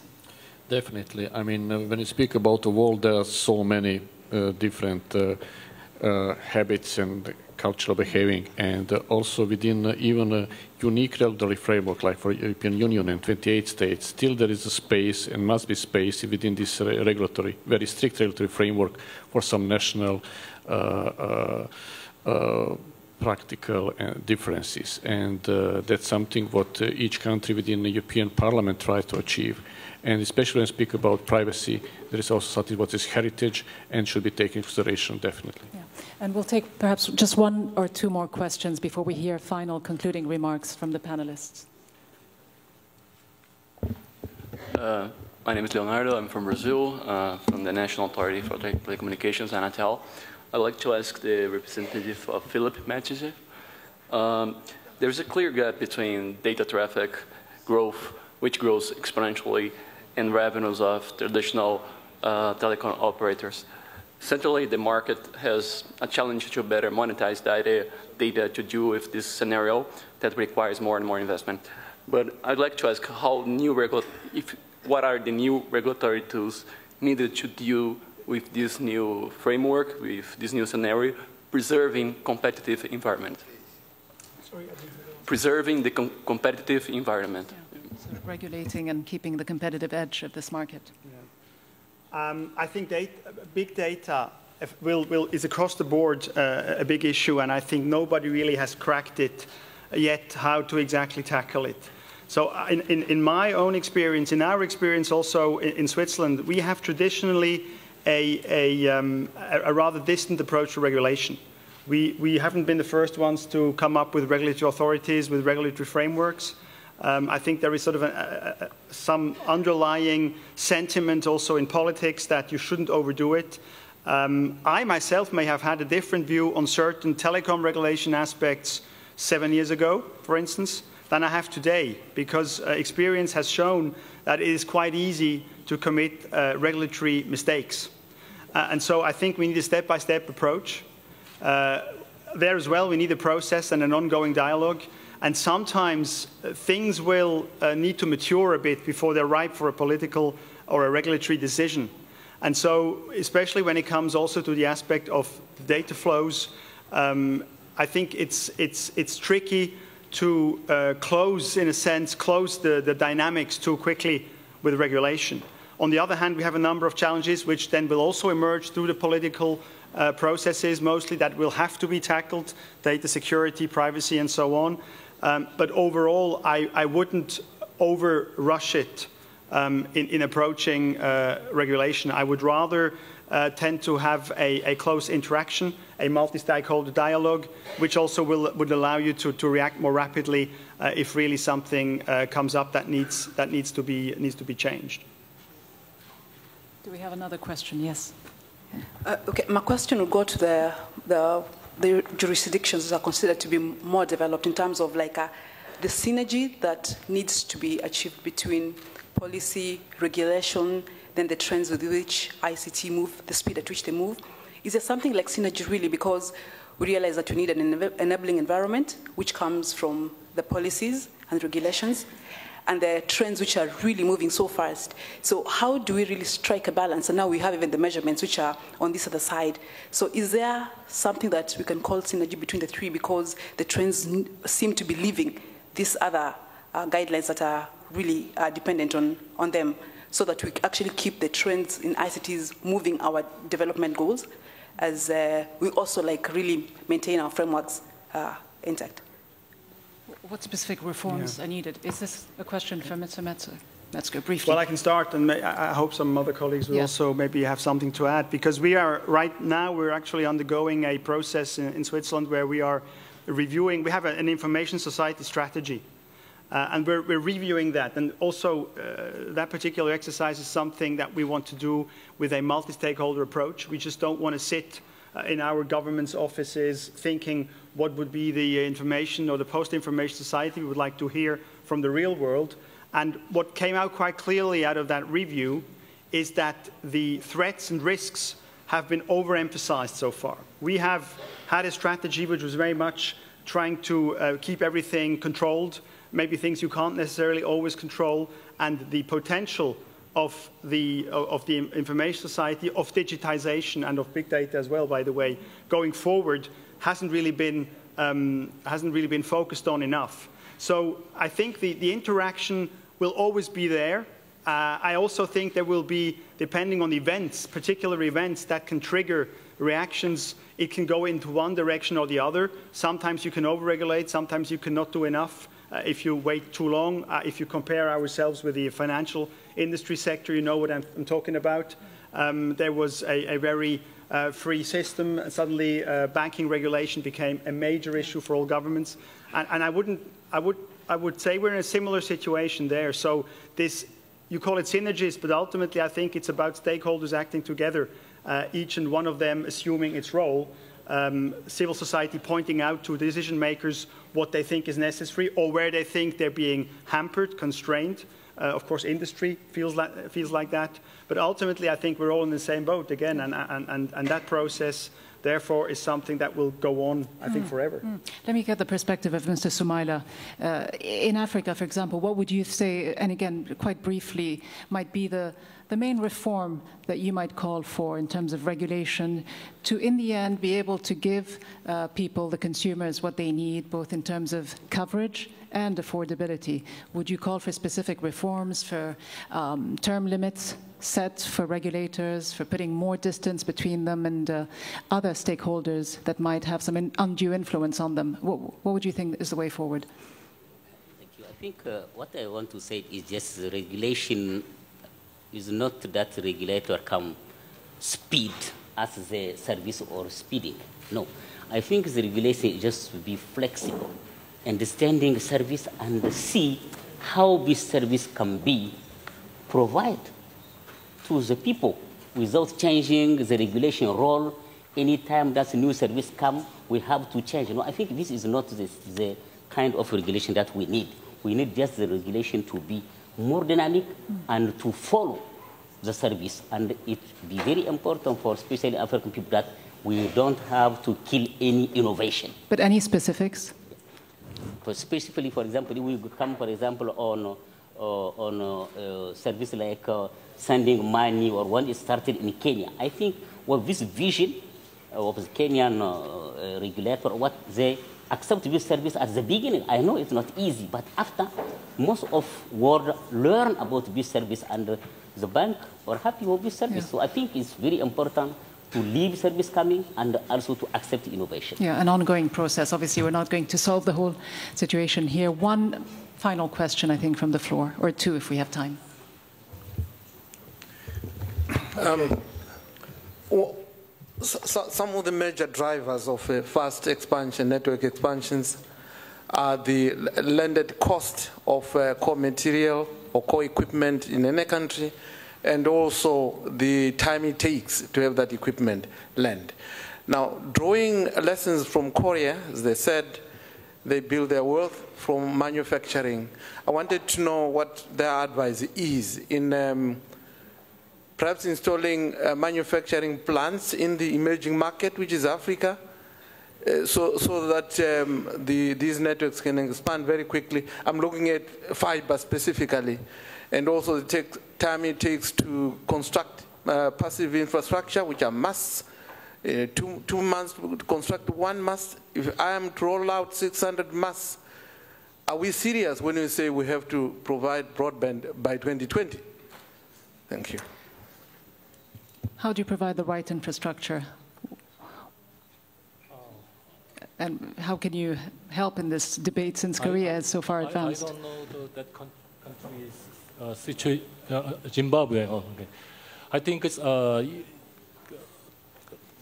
the Korean government, uh, especially MSIP, Ministry of Science and ICT and Future Planning, uh, they operate program which which invite some African countries and Southeast Asian countries to catch up the Korean model. And then I think it's maybe uh, if you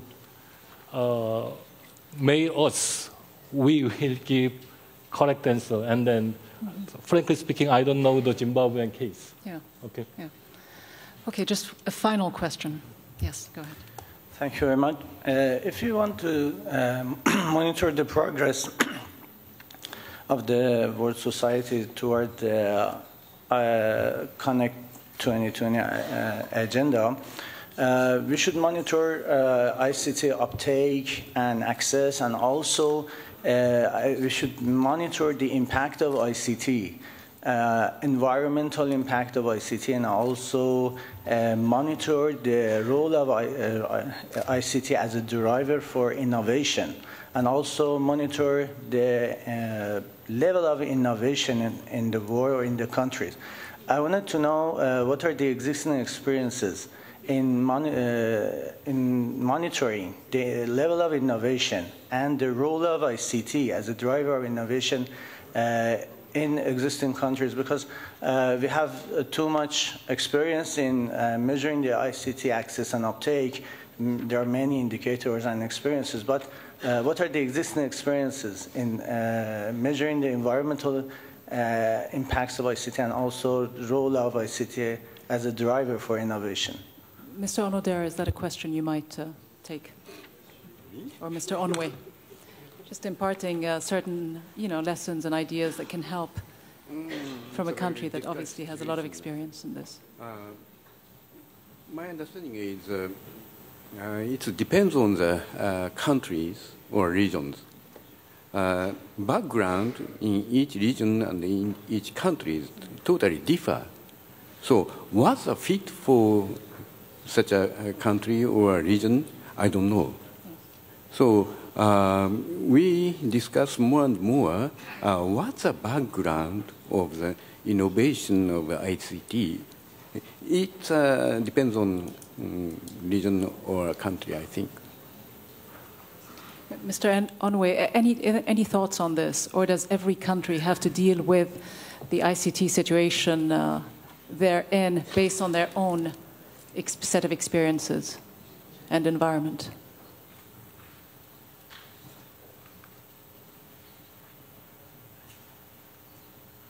For Mr. Onwe. Yes, Uh, just a few thoughts on this. uh, Yes, uh, of course, we have a different area. um, see- uh, We see uh, different areas. Uh, Some cases, uh, as Onore-san said, uh, different services uh, have to be customized to each regions. Some modification needed. Also, then the some player, such a player is already exist. And also the some, some area, we have a common innovation strategy we have. Uh, yes, uh, but you know, the, that is based, fo- based on the business, business-based activities. So uh, I don't know, the, today we have what kind of indicator to express that. I, I don't know, but, but uh, we are now uh, very active on for to create a new innovations. In any case, it's a, it's a partnership among so many different players. I go, I go against what I just said a moment ago and take one final question simply because I failed to see a hand that was raised about 15 minutes ago. It's a very final question from the representative uh, from Congo.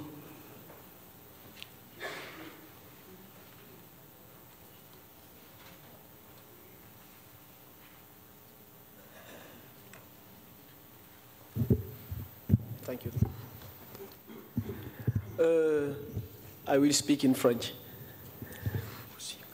Je suis euh, Monsieur Henri Numbi de la République démocratique du Congo. Je travaille euh, à l'autorité de régulation comme statisticien et responsable de l'Observatoire des marchés pour la téléphonie, euh, principalement la téléphonie mobile. Ma question s'adresse euh, principalement à Monsieur Soumaïla et indirectement aux, aux- équipementiers ou fournisseurs de fabricants de télé- des, des- des- des téléphones, des, euh, des, euh, téléphones portables ou euh, des terminaux. Parce que parmi, quand j'ai suivi M. Soumaïl, parmi les pistes de solutions envisagées pour le développement et de le taux de pénétration, dans nos pays africains, il y a principalement le développement des infrastructures et plus principalement pour euh, les larges bandes. Donc essayer de développer le plus possible les infrastructures nationales large bande pour permettre même euh, aux habitants des zones rurales d'accéder aux services large bande. Mais le problème qui se pose, c'est celui de coût du terminal. On peut bien arriver à construire tout le réseau comme il faut. On arrive dans les zones rurales, les personnes sont incapables de se procurer le téléphone.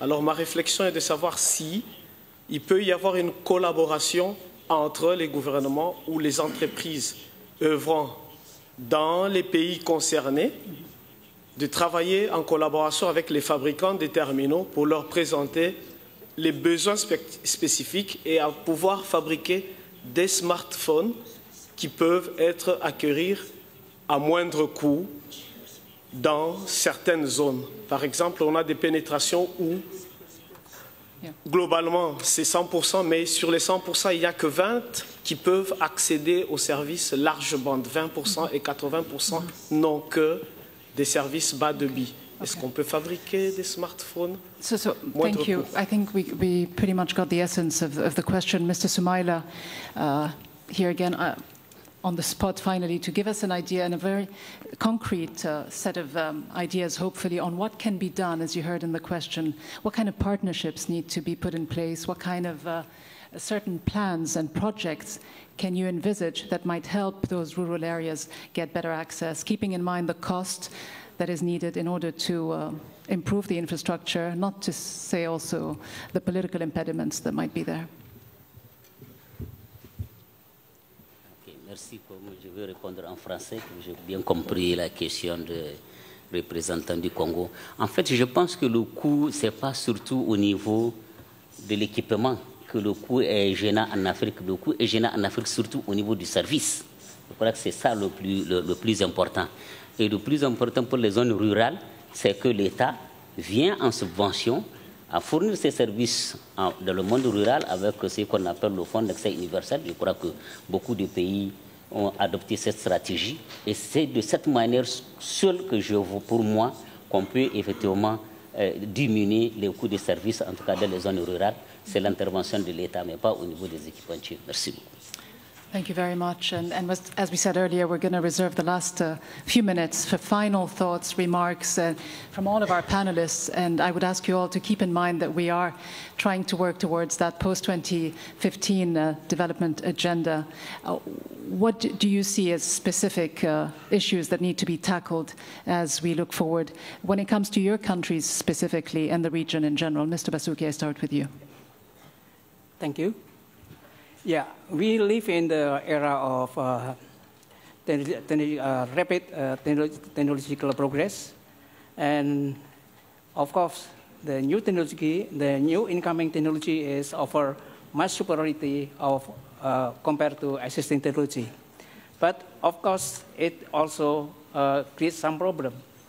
Just like in my country, this uh, we are setting, just start thinking about the 5G, but again, our population still mostly 70% using the 2G.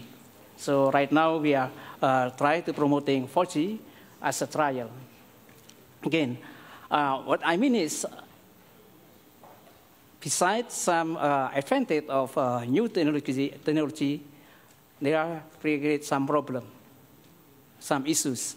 That is uh, more on the beyond the issue of infrastructure, but also problem of social development to make uh, them prepare, to make our society prepare for the new incoming technology. So in the, in the future, social development is becoming the central issue for, in my country. Thank you. Thank you very much. Uh, Mr. Seung Kim, uh, Kyon Kim, are you satisfied, are Koreans satisfied of where they are when it comes to ICT development in the country? I mean, you seem to really have excelled. Is there more room for improvement? What will you be focusing on in the next few years to remain one of the leaders, really, in the industry? Uh, thank you for your last question. It's for advertisement. 2018 Winter Olympic will be held in Gangwon Province, Korea. Uh, this place, uh, my Honorable Excellency Vice Minister of MSIP of Korea, Choi Jae-yu, attend this symposium. Uh, we will show the 5G during the 2018 Winter Olympic seasons in Korea. As you probably know, Korea is the first uh, nation to launch 4G, uh, long-term evolution uh, in the world, and then we are ready to show the 5G during the 19, oh, no, no, 2018 Winter Olympics. That's all. Thank you very much. Mr. Salvat, what would you like to see tackled uh, in the next few years when it comes to making progress at the national, regional, international levels? Probably the, the key thing for me is that uh, technology is not the, the name of the game now. The name of the game is about, is about citizen needs and companies' needs that needs to be translated to, to techno technology problems. And the, the whole industry and the government needs to move into that direction because the real benefit for, for, of these ICT is the services that, are, that can be used by all citizens in the country and all companies in the country. Thank you very much. Uh, Mr. Soumaila, I move on to you and ask you finally uh, how optimistic you might be uh, looking into uh, a, a, glass into the future when it comes to uh, ICT and its progress within Africa itself. Oui, bien sûr, madame, je suis vraiment optimiste, mais cependant, je pense que notre rôle, nous avons beaucoup de travail à faire. Donc, pourquoi je dis ça Parce que nous, jusqu'à présent, il y a des zones qui ne sont pas encore couvertes en matière de signal. Je crois que c'est le premier objectif, c'est d'assurer d'avoir la couverture totale au niveau de chaque pays africain. Merci. Merci beaucoup. Thank you very much. Antonio Correa, what for you uh, needs to happen in the next few years to bring those people within your own country, Timor-Leste, out of poverty, to get them more connected, to bridge the divide between the rural urban areas and also the gender divide, which we didn't talk about very much today? I think it is an important issue, is a capacity building for our uh, people. This is very important to, to transform the society in digital society. And I, I, will, I will leave the message for this conference. Uh, as a leader, uh, I want, want, to say that uh, the, the future is bright. Let us working together to create it. Thank you very much. Thank you. Mr. Metzger, your final thoughts.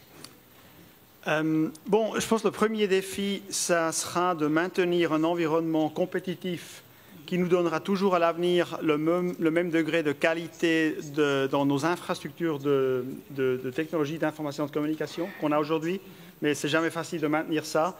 Et je pense le vrai défi, au fond, il est le même euh, que mon voisin de, Timor-Leste, hein, c'est de devenir une vraie société numérique. Parce qu'aujourd'hui, en Suisse, on a un défi, d'une part, en ce qui concerne euh, les, services euh, numériques gouvernementaux. On n'est pas très fort, on, doit faire beaucoup de progrès. On a bien sûr un système fédéral euh, qui ne rend pas toujours ça très facile.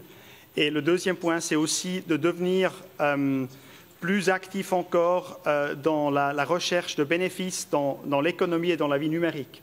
Nous avons une, innovation qui est importante, nous avons des, infrastructures numériques de base qui sont bonnes, mais nous avons du mal encore en Suisse et je pense en Europe en général à, euh, à avoir, les, avoir, les, bénéfices et dégager les bénéfices de cette numérisation. Euh, et je pense que ce sera ça le grand défi à l'avenir. Thank you very much. Uh, Mr. Lucic, what do you see as the biggest uh, deficit as we move forward? I mean, when you want to try and achieve in the next few years this all-inclusive information society, if it is possible at all in the next few years, uh, what would you say we have missed so far in terms of governments, private, public uh, sector, NGOs, civil society, regulators, just all of us put together? What have we missed? What should we do differently? ICT is the solution, and in the way of the true information society, digital society, we have already technical solution. We have a globalization. What we are still missing is a particular national interest and interest of the, our domestic people in our countries. So raising the awareness, Stefan Schweinfest, how do we make uh, statisticians' work uh, relevant into the future and raise awareness uh, among people to create the kind of society we all look for? You know, I think uh, one thing that has me, this has bothered me for many years was when you come to countries and there is no information, there is no information. But I mean, sometimes you come to places and there is a lot of information, and it's not properly connected with each other or it's not properly connected to the use. So I think a very low-hanging fruit for the next couple of years is really to bring uh, various information systems, official, uh, statistical, geospatial, other types of information in a country, in the countries and in the world really together and bring them to the right users and connect them to the policy decision making. I mean, a friend of mine once said, uh, the problem is not a technical one. We are not talking about technical interoperability. It's mostly about human interoperability. Hmm. That's a very interesting point, which uh, leads me to uh, Areewan Haorangsi. Uh, what do you see uh, as a challenge in this sense? I mean, we're all talking about how better connected we are, but how efficient are we at using this huge, massive uh, data at our disposal? disposal? Yeah, just I, I just mentioned before this uh, this round about the uh, the sensor. Actually, mm. I just told him that if, if, because the Internet of Things is we have the uh, connect any object, and also to, to share information, and also real time. Then this is the new technique to have information in real time being used, but it costs a lot to have sensor for every object. Anyway, and this, so this, the challenge of also come in the same conclusion is about the budget for doing anything. Then that, that's why when I heard the gentleman from Congo mention about the uh, how to prepare, to provide the uh, services, telecom services to the rural area, uh, actually there are many ways to share information. When talking about, talking about share information, information, everything, information of best and best practice, and also share information about failure of the. It can be done bilaterally or multilaterally to to try to get. And for for this problem, some country may use, and then it's also many talk, talking about this. The I'm, I'm not sure whether you have already uh, learned about the universal service obligation, universal service fund. Actually, this is the, the obligation for the government, the policymaker and regulator to provide us, uh, this service to the, yeah. all over the country. But not, not maybe not the same standard, but at least, at least to, to, to be able to connect to all the country. So Thank regulator have collect the fee yeah. from the operator. An operator can also discuss about how to provide this the uh, necessary service. That's why we call universal service obligation. Yes, as you say, an interconnected sense of responsibility among so many players. Tadashi Onodera, uh, some people have mentioned the issue of cost and budget. Obviously, Japan doesn't have this issue. Uh, you've got the budget, you've got uh, the skills, you've got the willpower to keep pushing and keep advancing into uh, ICT and, and, cyberspace and so on. Uh, for you, what might be the challenge? I mean, is there much more that you need to do? What do you need to tackle first as a priority? Uh, it's my personal understanding. Uh, telecommunication world was something like a closed world. Hmm. But uh, uh, digital revolution already started. In digital revolution world, open innovation will be most important issue. It means not only uh, within uh, telecommunication world, but also we should co-work or co-communicate other industries more and more. It's our obligation, I think. If uh, digital revolution uh, mm, take off, in such a case, telecommunication standard will not be sufficient. So we should work with uh, another industry more and more. It's my opinion. Thank you, Mr. Se Seizo Onoe. Your, your, thoughts about how uh, we take this issue forward, uh, ICT, at a, at a, national level, but also globally. What, what, what will you expect to see happen in the next few years in terms of major innovations? What would you like to see happen? Uh, yes, uh, of course, uh, for next a few years, 5G uh, is a key, key point. Mm. and also, the, I, I was impressed with the, the morning session, the Zimbabwe Excellency's statement, and also the, some questions from African countries. 5G um, is not just a rich system. 5G need to uh, meet a, a wide variety of requirement. Of, uh, just, of course, we seek some performance enhancement. At, at the same time, we need some cheaper and low, low, power con, low power consumption uh, targeting for the IoT use cases. But I'm very sorry that today I don't, I can't provide any solution to deploy broadband in African countries, rural areas. So I'm very sorry. But, but I, we should need, need to continue the discussion. And also the 5G alone cannot resolve that issue. Yeah. Uh, previous generation, all generation technology are relatively getting the cost decreasing. So in some combinations may provide some solution. But today I don't have yeah. any solution. I'm very sorry about that. No, thank you. I mean, your set of experiences have been very beneficial. Uh, Mr. Furugen, uh, finally, uh, what do you think um, would be the right strategies, priorities for projects like yours, which really aim to do what I think this is all about, to lift those people who haven't got the kind of ICT infrastructure around them into the fold? Do we have the right priorities in order to achieve that?